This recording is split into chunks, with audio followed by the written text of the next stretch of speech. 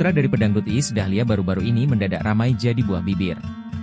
Ya, hal ini bermula dari pengakuan Devano Danendra yang mengungkap pernah menghabiskan uang mencapai puluhan juta hanya untuk mabuk.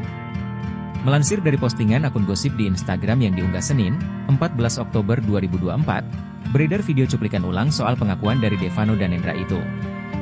Dan ya, pada kesempatan itu, Devano Danendra mengaku sempat merogoh kocek mencapai 36 juta rupiah yang digunakannya untuk minum minuman keras, mabuk, dalam satu waktu.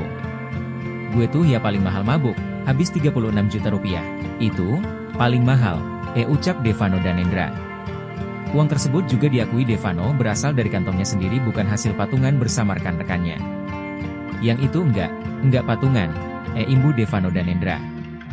Devano Danendra juga menyebut dirinya saat itu mabuk sampai menghabiskan banyak uang lantaran sedang merasa sedih.